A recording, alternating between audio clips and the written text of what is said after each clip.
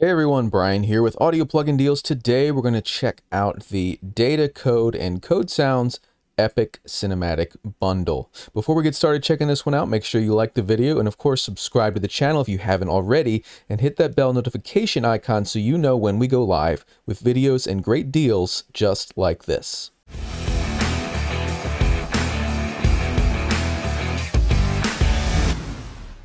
So let's take a look at the five different products here.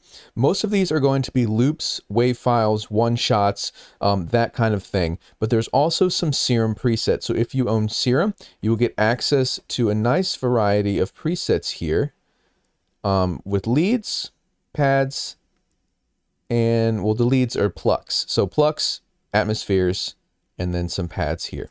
So let's check out some of the different sounds. And we'll look here, we have dark ambience, alone, dark, chill, and cinematic, serum ambient chill, which is where the serum presets are included. We have cinematic ambience, and then finally from Datacode, focus, techno, drones, and effects. We open up the files, we have atmospheres and drones, drum hits, impact effects. So if we look at the demo here, I've used a lot of the different wave files and loops, but I've also opened up a drum sampler here, the PreSonus Impact, and imported some of those one-shots into here. So if you don't want to use loops, if you just want one-shots, you've got it here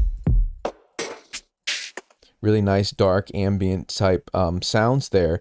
And then we also have the Serum presets for you to make your own melodies and whatnot with. So if we look down here, I'm going to be using the Serum presets and the actual chords here came from the MIDI files included in Serum Ambient and Chill. So we have pads, song kits with, you know, long, lengthy um, MIDI files and then synth loops. So I just used the pad loops and some of the synth loops. And I actually went in and changed this just a little bit so it would match more with the chord progression in the second half. So let's check out the sounds here.